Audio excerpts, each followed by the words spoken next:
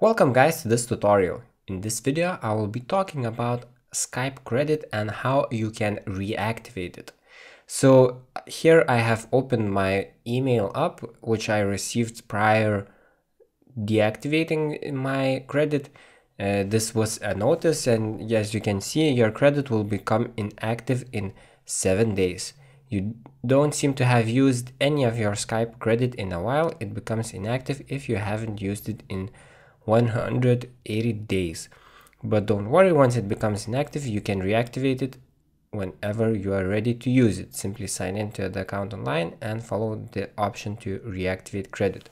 Here you can see my balance that was previously and here you can see in order to keep it active you need to use it so call a phone send sms and so on and seven days did pass and uh, here I have opened up my uh, Skype account and as you can see here at the top left corner it says 0.00 so in order to reactivate this credit you would need to go to the settings. So press on the three dots go to settings.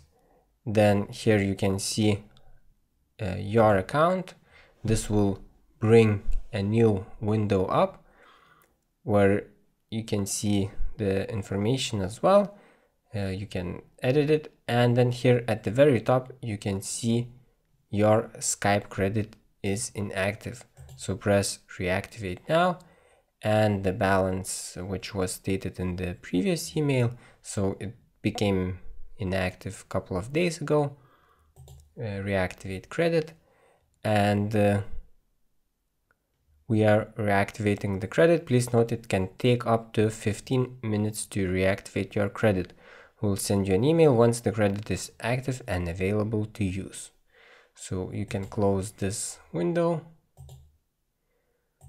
And let's see, I will refresh this page. Uh, as written previously, it might take 15 minutes, but let's see if it has changed.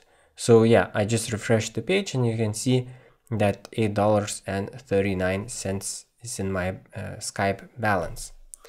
So I hope that this quick tutorial was useful to you uh, and uh, if you like this video please press the like, subscribe to the channel and uh, see you guys in another video.